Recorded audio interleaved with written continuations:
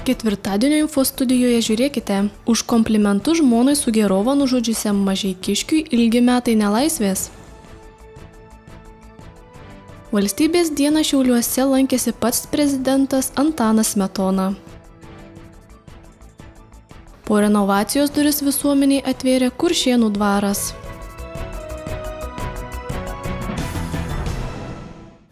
Labas vakaras, eterė naujienų laida Info studija. Kviečiu žiūrėti.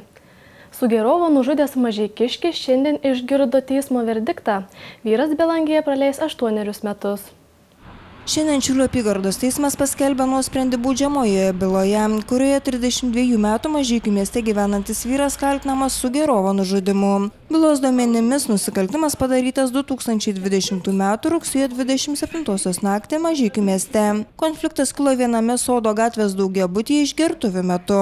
Kaltinamasis teisme tvirtino, kad gerdami svaigalus su gerovai susikivirčijo, mat atvykėlis pavadino jo žmoną gražią. Mažykiškis šis gestas sukėlė įtarimų, kilo konfliktas. Galima pašneikinti? Dar komentarų. Be komentarų. Galų gale kaltinamasis su gerovu išstumė pro duris lauk į laiptinės aikštelę bei smogė kumščių į veidą. Nukentėjusysis nuo patirto smūgio krito ir trenkėsi galva į kietą paviršių. Tuo tarpu kaltinamasis grįžo atgal į butą ir toliau su žmona svaiginosi.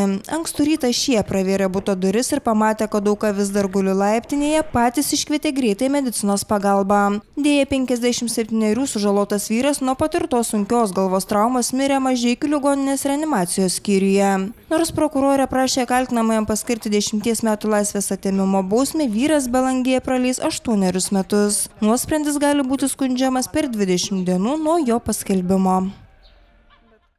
Valstybės dieną į Šiaulius ir vėl sugrįžo tarpukario amatai, edukacijos ir tuo laikmečio veikusios įstaigos.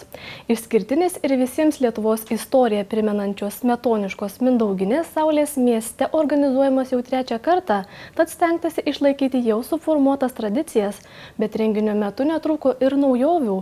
Šventėje apsilankė ir pats prezidentas Antanas Metona.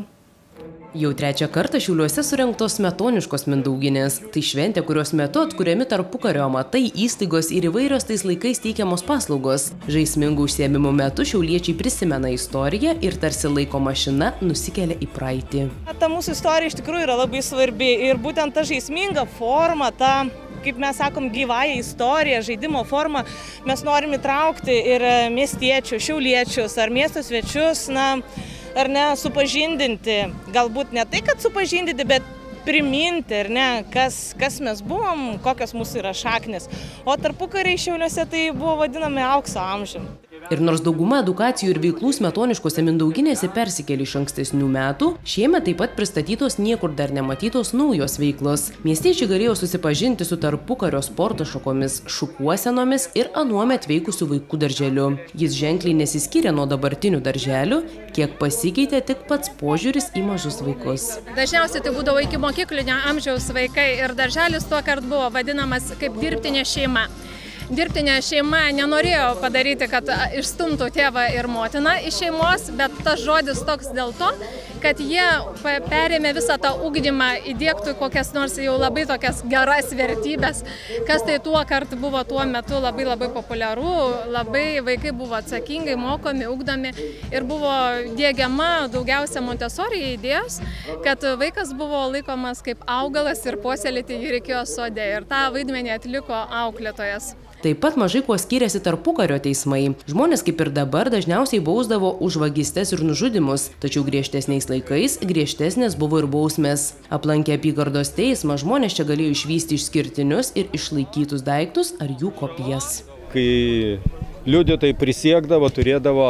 ranką padėti ant Evangelijos, čia vat yra originali Evangelija.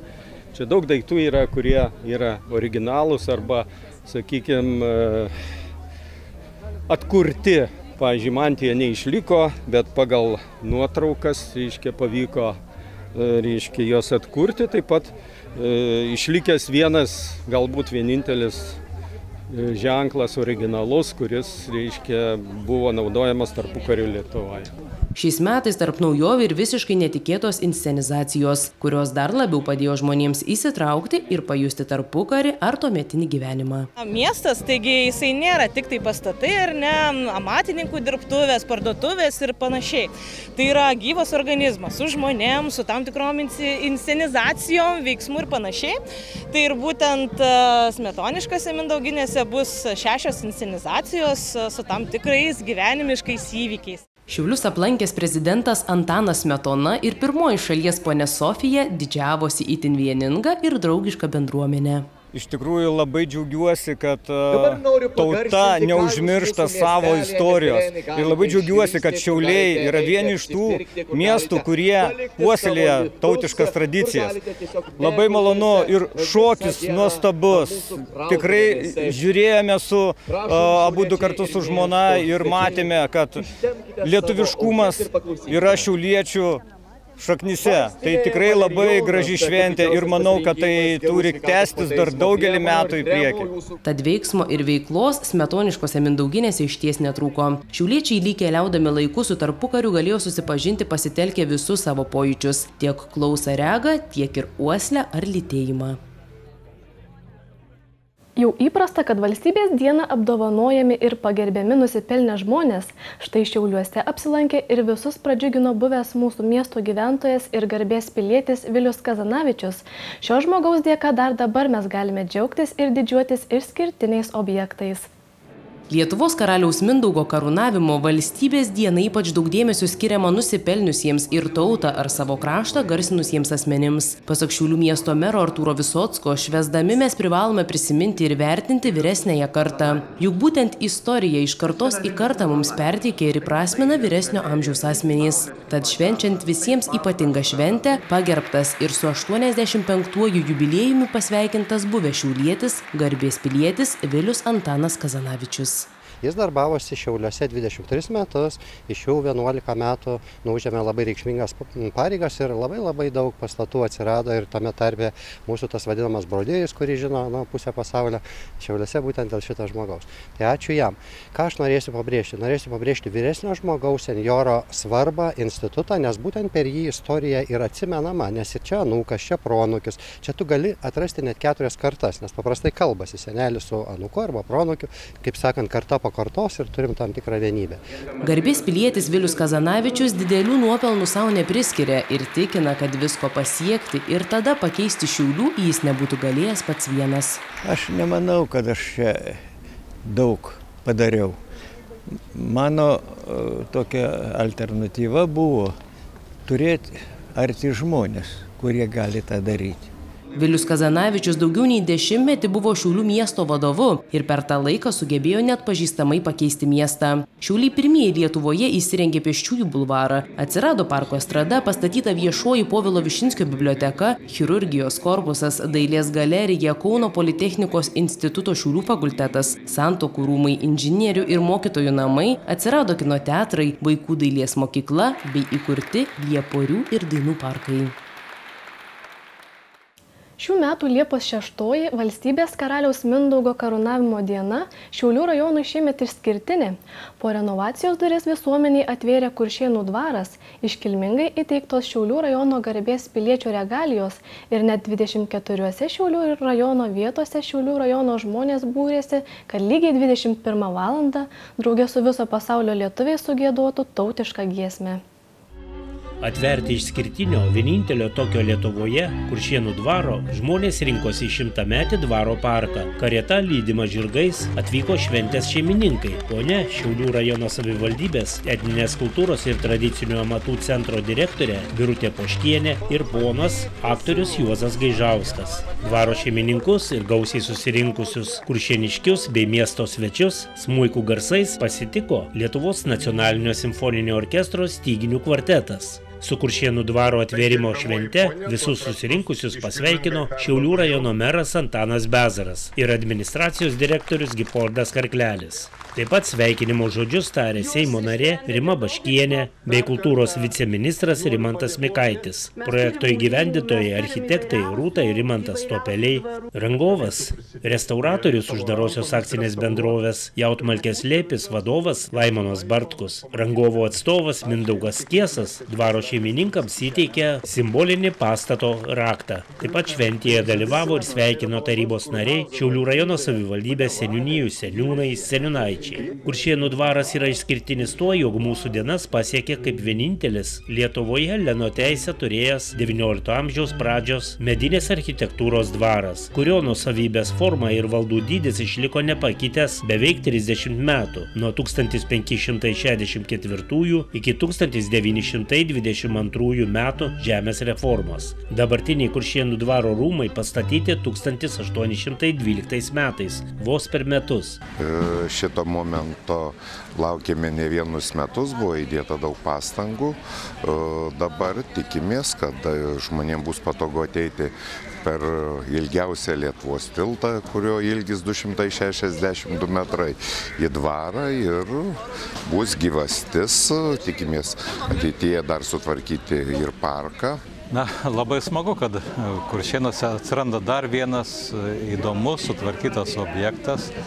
Ir jau nuo pirmų dienų matosi, kad šitas objektas bus gyvas, žmonės jį lanko, Atvėrus dvarą šventė per vieną ilgiausių Lietuvoje 262 metrų pešiųjų tiltą persikėlė į Laurino Ivinskio aikštę, kurioje vyko Šiaulių rajono garbės piliečio regalijų įteikimo ceremonija. 2020 m.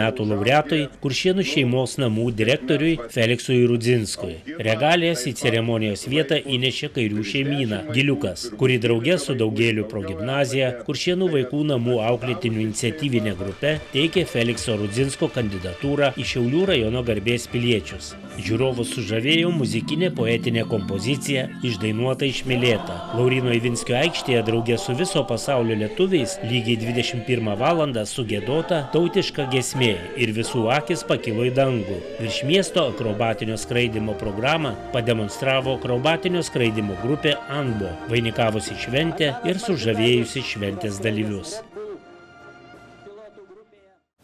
Liepos 6-ąją Radviliškėje kasmet švenčiamos dvi šventės. Tai Lietuvos karaliaus Mindaugo karūnavimo diena bei šio miesto gimtadienis. Šią progą Radviliškio miesto kultūros ir polisio parke vyko ištisas ciklas renginių, tarp kurių ir pasaulio galiūnų čempionatas. Panašu, kad užklupusi liūtis neišgazdino šventės dalyvių, o ir gera nuotaika liejosi per kraštus. Kaip ir kiekvienais metais radviliškiečiai Liepos 6-ąją švenčia dvigubai. Mat šią dieną visas miestas mini ne tik Lietuvos karaliaus Mindaugo karūnavimą, bet ir radviliškio gimtadienį, nors šiemet to labai neakcentavo. Miesto kultūros ir polisio parke užsiėmimo turėjo ir maži, ir dideli. Ko gero didžiausia gyventojų dėmesį pritraukė jau ne pirmus metus čia vykstantis pasaulio galiūnų čempionatas. Šio sporto aistruolių neišgazdino net ko ne visą renginį pliaupęs lietus. Šita šventė šiandien sutapo labai gražiai su valstybės diena, tai renginių tasa yra didžiulė. Man tai labai malonu, kad Radviliškai jau ne pirmą kartą vyksta galiūnų varžybas ir tos varžybas visada įneša visą radviliškiečių tarpę daug diskusijų, daug svarstymų ir, ir, ir, ir pasidžiaugti, kada mato aš sakyčiau, tikrai labai stiprius vyrus, kurie daro, kilnoja, pasiekia rekordus. Susirungti pasaulio galiūnų čempionate atvyko stipruoliai iš įvairių šalių - Latvijos, Čekijos, Junktinių Amerikos valstijų, Vengrijos, Slovakijos bei žinoma Lietuvos. Šiemet sėkmė nusišypsojo galiūnui iš Latvijos. Pernai šiuose varžybose likęs antras šiais metais jau džiaugiasi pirmą vietą. Antrą ir trečią vietas užėmė galiūnai iš Lietuvos. Labai šaunus renginys, puikia vieta, man patinka varžytis Lietuvoje. Dalyvavau varžybose ir laimėjau. Šiek tiek jaudinausi vienoje rungtyje, bet galiausiai viskas baigėsi šauniai. Ir tai labai geras jausmas. Svarmenis nesunkus man pasirodė net per lengvi, sakyčiau. Galbūt galėjo būti sunkesni svoriai, bet jausmas nerealus.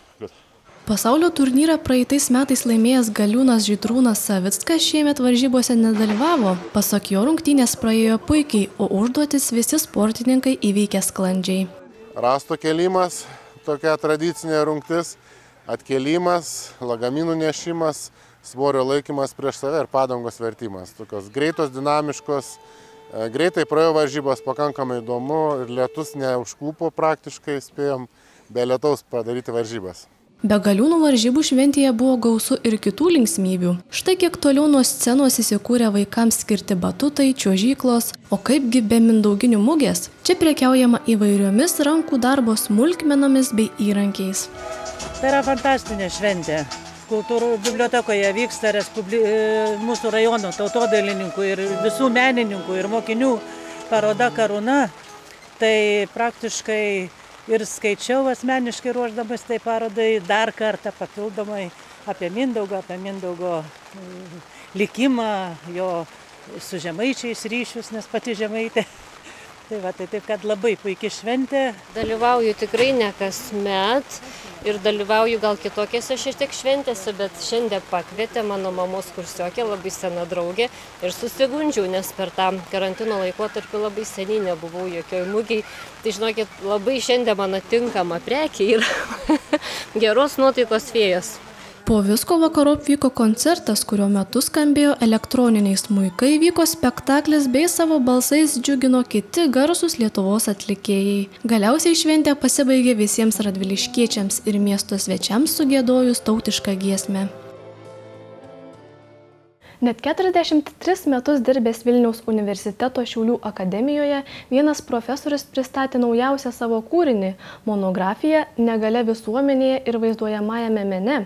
Kaip juokauja pats autorius, ši knyga yra tarsi jo viso darbo akademijoje ataskaita. Kas gali būti geriau už garbę ir užtarnautą poilsį po ilgų metų darbo? Štai Vilniaus universiteto Šiaulių akademijos profesorius Vytautas Gudonis po daugiau nei 40 metų darbo šioje mokymo įstaigoje į užtarnautą poilsį išeina su trenksmu.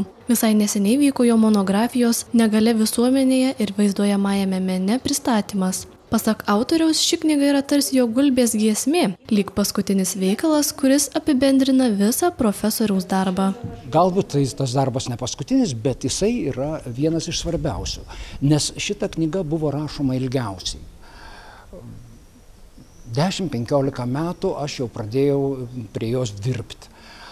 O paskatino mane tą knygą rašyti tai, kad aš labai nuo ankstyvo laiko bendrauju su neregiais. Ta knyga, tos knygos tikslas - parodyti negalės žmogaus socializacijos raidą per istoriją. Komplimentų negaili ir ilgamečiai profesoriaus bendraminčiai, kolegos. Jų teigimu dar niekas Lietuvoje nesugebėjo taip nuosekliai ir giliai išanalizuoti negalios temą bei pristatyti ją skaitytojui. Musieja labai seniai ir glaudus ryšiai. Mes kartu su juo ilgus metus dirbome kartu, e, taip vadinamą, doktorantūros komitete. Norėčiau palinkėti savo kolegai, su kuriuo man teko labai ilgai dirbti, ranką rankon, palinkėti jam tokios pat energijos, kaip jis dabar turi ir, na, tikiuosi, tikimės, kad išvysime dar ne vieną jo kūrinį. Šiaulių akademija palaikė monografijos autorių ne tik psichologiškai, bet ir finansiškai, mat prisidėjo prie knygos leidybos. Akademijos direktorė didžiuojasi ir teigia, kad tokie darbai kuria vertę bei tampa etalonu. Iš tokių knygų ateityje mokysis patys dėstytojai ir žinoma studentai. Pirmiausia, tai iš vis reikia pasidžiaugti, kad tai yra vienintelė tokio lygio e, knyga ir monografija Lietuvoje. Ir kaip tik šiuo metu diskutuojame, kad galbūt būtų verta nacionaliniai premijai teikti už mokslo pasiekimus ir specialiosios pedagogikos negalės reiškinių atskleidimo garsinimo Lietuvoje. Tai duok dievė Lietuvoje, kad kiekvienas mokslininkas šitiek nuveikęs išeitų su tokiu trenksmu. Tai iš tikrųjų begalinė šventė, iš tikrųjų pati didžiausia šventė, kada mokslininkas 50 metų atidavė specialiai pedagogikai Lietuvoje, palieka universitetą, palikdama šitą fantastišką ir unikalų kūrinį. Profesoriaus Vytauto Gudonio knygų bagaže slypi net septyni žodynai, penkios monografijos bei keturi kūriniai parašyti su kitais autoriais. Netrukus sportas ir sinoptikų prognozė artimiausiai parai. Ačiū, kad žiūrėjote, likite sveiki.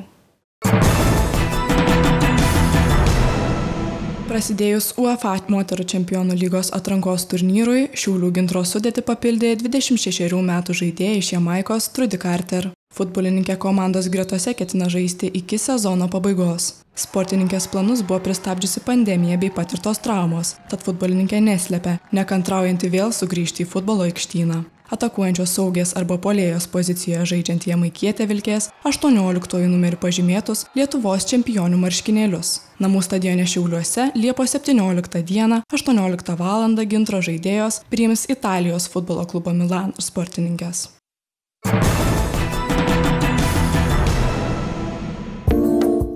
Ketvirtadienį orai kis nežymiai. Artimiausia naktis numatoma giedra be kritulių. Aukščiausia temperatūra Šiauliuose sieks plus 23 laipsnius, o kuršienuose plus 22 laipsnius. Ketvirtadienio rytas prognozuojamas šiltas ir be kritulių.